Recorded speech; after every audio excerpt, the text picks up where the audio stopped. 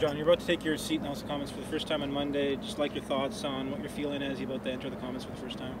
Um, ex- excited. Uh, you know, that you've got that nervous energy. It's uh, like going to school, high school for the first day of school.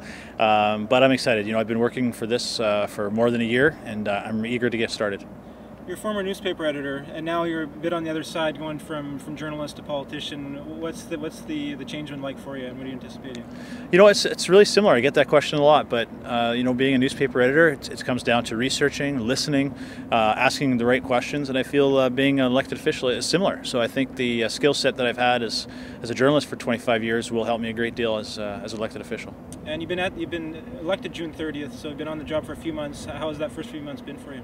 Uh, it's been hectic. Uh, you know, it's uh, it's kind of like starting a new business. Uh, you're getting your offices set up, staff hired, uh, but also dealing with the issues that have come up over the summer. And uh, right, you know, I didn't want to wait. I wanted to get right at it. So I'm happy that uh, we were able to get right to work. So the you've jumped from, from journalism to politics. I'm wondering what if there's been any surprises for you in your first few months as uh, as an MP.